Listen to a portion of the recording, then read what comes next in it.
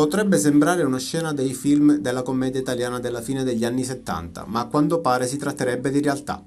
L'amore per lo sport e nello specifico della pallavolo a tinte femminili avrebbe portato un uomo a spiare fin dove non poteva spiare. L'uomo in questione di professione e vocazione sarebbe un sacerdote. Sarebbe stato sorpreso a spiare lo spogliatoio delle ragazze con dinamiche ancora da chiarire. Al momento, dalla curia vescovile della società sportiva interessata non trapela nulla, ma non si registrano neppure smentite. Abbiamo provato a contattarli, ma al momento solo no comment. La passione del protagonista della vicenda per la pallavolo sarebbe andata molto oltre, quando avrebbe deciso di sfruttare una buona posizione di osservazione per guardare dentro lo spogliatoio al termine dell'allenamento. Occhi indiscreti che sarebbero stati notati da qualcuno. Così sarebbe scattata la telefonata alle forze dell'ordine. Sono bastate poche ore per la diffusione della notizia. Ora in città non si parla di altro, nei bar, per le strade e l'ironia nei social network è passata in primo piano.